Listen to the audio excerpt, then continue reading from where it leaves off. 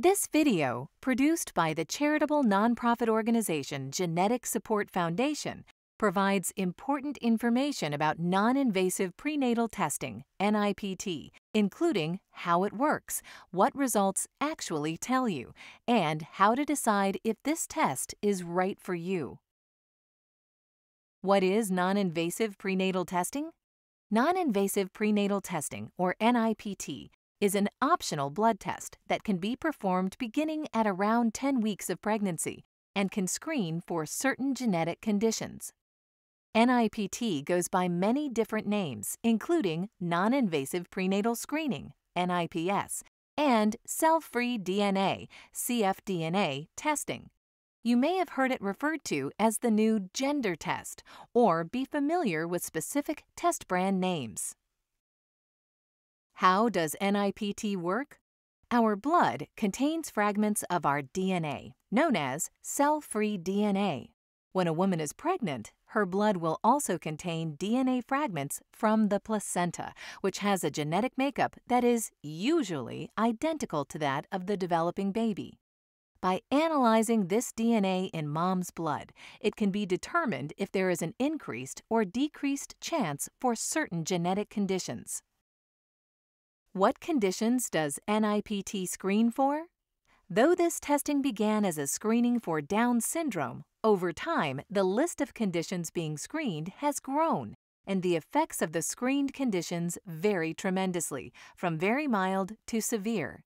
In some cases, NIPT can also predict the gender of the baby. Most of the conditions screened for do not run in families. The chance that a pregnancy is affected with a condition depends on a number of factors. Another note not all NIPT labs screen for the same conditions. What can NIPT tell me about my pregnancy? NIPT is a screening test that can determine if the chance of certain genetic conditions in a pregnancy is higher or lower. Since NIPT is a screening test and not a diagnostic test, it cannot give you yes or no answers. If results indicate a high or increased risk, then a diagnostic test, such as amniocentesis, can then be performed if the patient desires to determine whether the baby really has the condition or not. If the results indicate a low or decreased risk, the chance the baby has the condition is lower but not zero. Keep in mind that false positives and false negatives do occur with NIPT. The chance of a false positive or a false negative result depends on the condition and also which NIPT lab is used. NIPT requires only a blood draw, so often it is described as not having any risk, but it may be helpful to think about what the test results may mean for you. Most of the time, the test will come back low risk, and many women feel relief based on these results. However, if the test indicates an increased risk, it may create worry and uncertainty about what to do next. Follow up testing, such as amniocentesis, that can tell for certain whether or not a genetic condition is present in the baby, does present some risk to the pregnancy, including an increased risk of miscarriage. The risk of miscarriage from amniocentesis is less than 1%.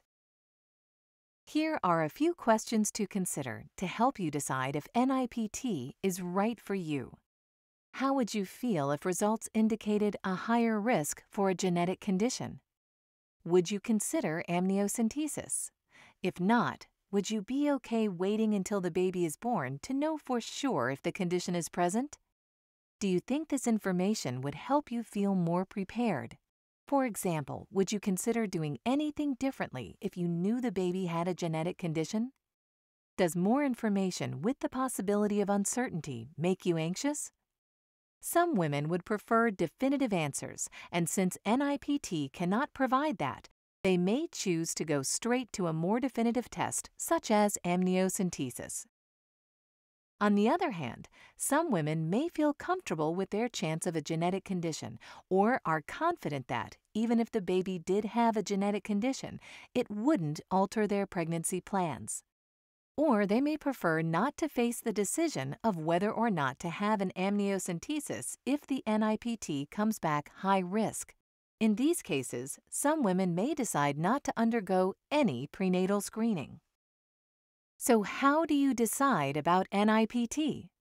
The decision to undergo any prenatal genetic test is personal and should reflect your values, personality, beliefs, and needs. This decision should be made in consultation with a healthcare professional. There are many prenatal tests available, and your healthcare professional will be able to determine based on a number of factors if NIPT is an appropriate test to offer you. Your decision may be very different than the path your friend or neighbor might take, and that's okay. In most cases, prenatal genetic testing is a choice, and the best way to make a decision about NIPT that is right for you is to be informed. We hope that this brief overview of NIPT has been helpful.